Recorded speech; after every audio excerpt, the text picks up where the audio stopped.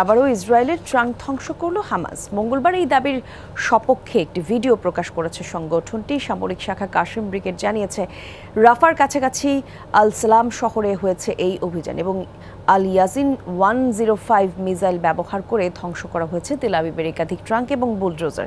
Target করা হয়েছে সেনাদের বহনকারী গাড়িও। বেশ কয়েকজন হতাহত হয়েছে বলে দাবি করেছে হামাস। উত্তরাঞ্চলে ইসরায়েলি সেনাদের হামলায় প্রতিরোধ গড়ে তোলার দাবি সংগঠনটি। জাবালিয়া লড়াইয়ে একটি ফুটেজও প্রকাশ করেছে তারা। তবে হামাসের পাল্টা জবাব নিয়ে কোনো মন্তব্য করতে রাজি হয়নি ইসরায়েলের সামরিক বিভাগ আইডিএফ। এক বিবৃতিতে কাশিম ব্রিগেডের একাধিক ঘাঁটি, বিস্ফোরকের গুদাম এবং মিসাইল উৎক্ষেপণ কেন্দ্র করে ধ্বংসের করেছে, এমনটি দাবি করেছে তেলাবিব জয়তুনে একটি টানেলের প্রবেশমুখ এবং রকেট লঞ্চার ধ্বংসের দাবিও করে তারা।